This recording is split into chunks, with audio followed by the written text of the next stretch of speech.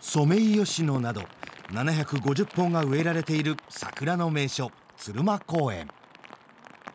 見上げてみますとだいぶ緑の葉が目立ってきてはいますけれどもまだですねこちらのようにピンクの綺麗な花が咲いている部分も残っていますね。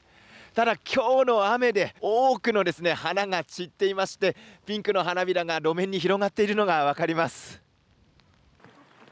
次の日曜日まで夜のライトアップなどを行う花祭りの期間中ですが緑も見える桜に花散らしの雨と風が重なり訪れる人はわずか。昨日まではこの辺りにキッチンカーが並んでいたんですけれどもえ今日はこの天候の影響で並んでいるキッチンカーは全くありません。公園内には多くの屋台が並んでいますが今日は降りしきる雨の中すべて閉まっていますね。がらんとした寂しい雰囲気に包まれていました。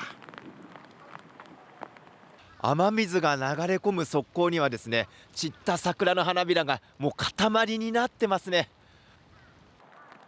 そんな中写真を撮る人も。緑が爽やかで綺麗な。まあこういうのもいいなと思いますね。葉桜も。桜のピンクの絨毯ですごく綺麗で素敵だなと思います。まだまだ桜楽しめそうです、ね、そうですね。全然楽しめますね。一方岐阜市の長良川では。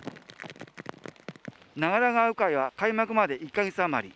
その機運を高めるのが観覧船を清掃する船洗い。今日始まりました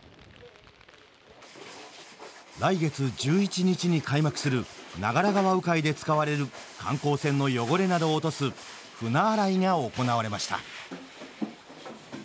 例年は長良川の本流に出して作業を進めますがこの雨で水位が高くなっていることから普段から係留しているドックで行いました。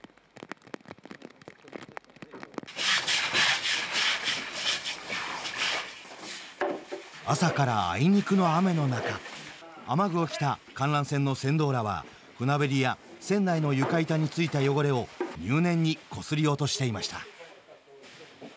仕事的にはやりにくいです実際言うとね。あのですけどね。あのもう血が詰まってきてますんでね。